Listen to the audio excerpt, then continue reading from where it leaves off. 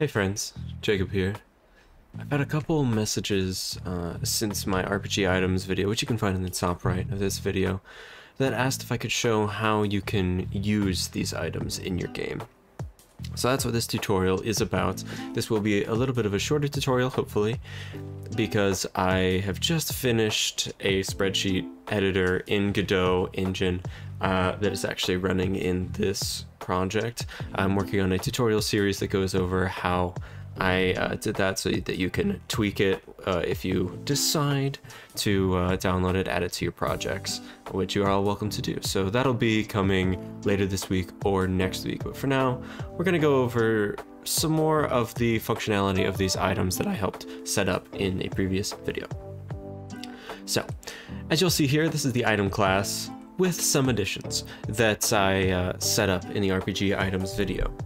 Now I added this signal for when the item is depleted, and then I'm passing an item resource, so when you pass uh, variables via a signal, you have to put in some kind of dummy variable name here. It can be really anything. Uh, you can, uh, I, don't, I don't actually know if you can have, if you can uh, declare type.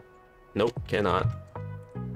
Uh, so just something to say, hey, I'm gonna have one, uh, one argument being passed. So I have this uh, function for adding the quantity, which we did last time, and then I added a function this time for decrementing the quantity. So minus one, right? So have quantity minus one, easy enough. And then if quantity is equal to zero, then you emit a signal. And if you're not familiar with signals, I can cover that as well uh, in a later video potentially. But for now, we're going to emit this signal up here to whatever nodes uh, or scenes have connected to the signal or who are listening for it and we're going to pass self which means this item that whatever item is this item class we're going to um, emit that. Uh, we have get texture and get quantity these are from last time. And then i have a function called use item. So this is the big the big function of this in question right? So presumably you'll have a GUI or maybe your player node will be the one that's accepting your player input, right? So if you hit, for instance, spacebar or what have you, then this function use item will be uh, called via the GUI because it'll know what items are in your inventory or in your HUD or whatever, whatever. So all we're going to do is pass the target of the item. So in most cases, this will be the uh, the player, but perhaps you want to maybe uh, use an item on an enemy, then maybe you would pass that in that enemy in. Or if you've abstracted all of your code like I typically like to, then enemies and characters will have a lot of the same code behind them so that you could modify their stats via items uh, just like you do characters. So uh, then in this use item function, I call decrement quantity so that if the quantity decreases, yes. Now, some of you may be saying, well, this is very simple. It doesn't do anything though. Like, what do I do with stats? What What does any of this mean? Well, that comes in the inherited classes, like the food item class and the armor class. So we're gonna go to the food item class, and as we see, it extends item. So all of this code is in the food item class. And so we have a variable that we set up last time for health restored. Now, this line is very important. This is something that a lot of people don't know about Godot, but you can call functions, parent functions, uh, explicitly. So for instance, uh, we are overriding use item, and we have to have at least the same amount of uh, parameters. So that's why we have target here.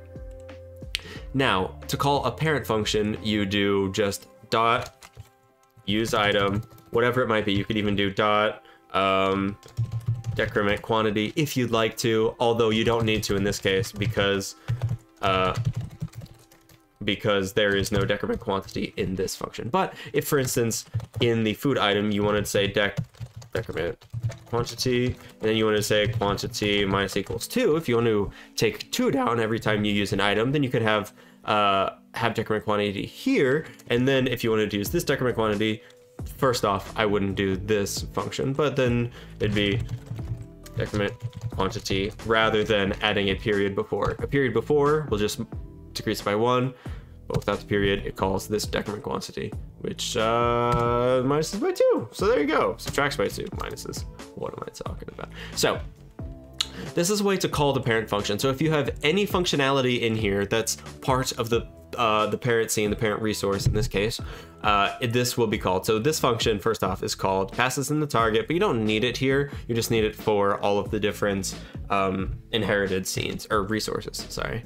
So decrement quantity is in fact being called here. And then uh, as part of the food item, we're going to call the target and add health. So again, this is assuming that in your target, in your creature, in your player scene, there will be an add health function that will uh, add some of this health. And, you know, it could potentially look like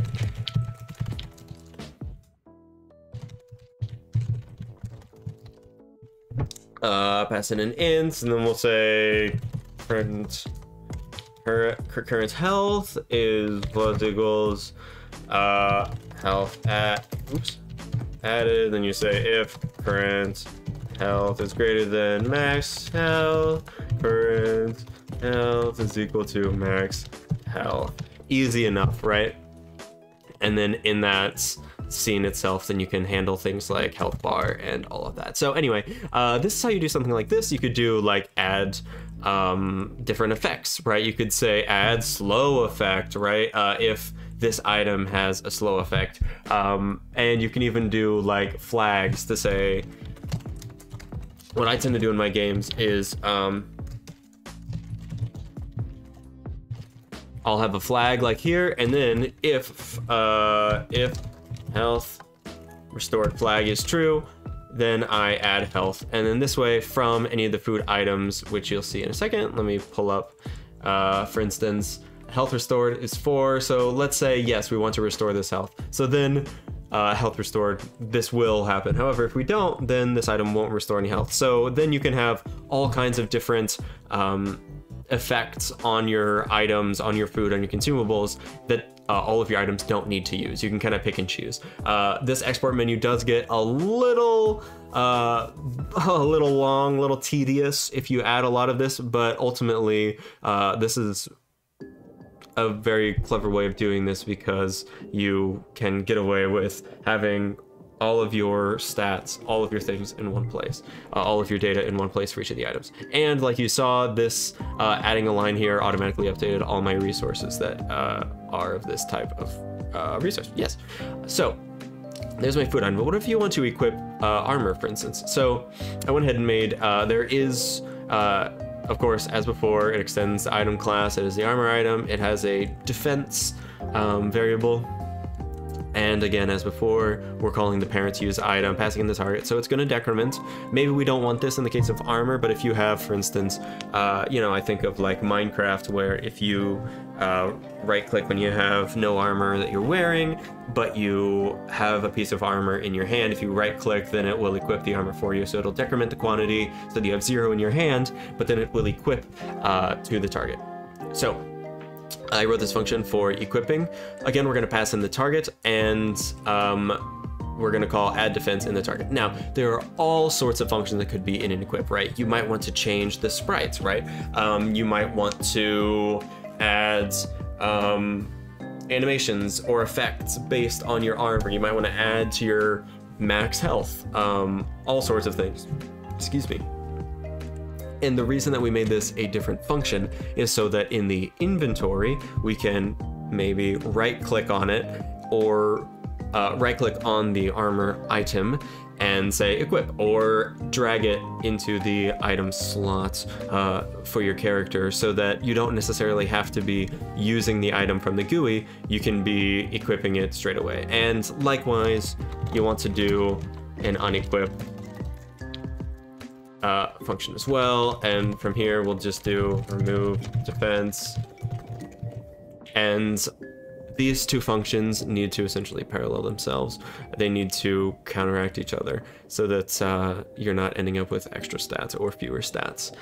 So uh, this is fairly simple, right? Um, being able, uh, in this in this tutorial, excuse me, we learned how to call our parents functions. We learned uh, how to use items from the GUI, and you know, uh, I've thought about doing larger tutorials where I have stuff, actual scenes that I can show this working on.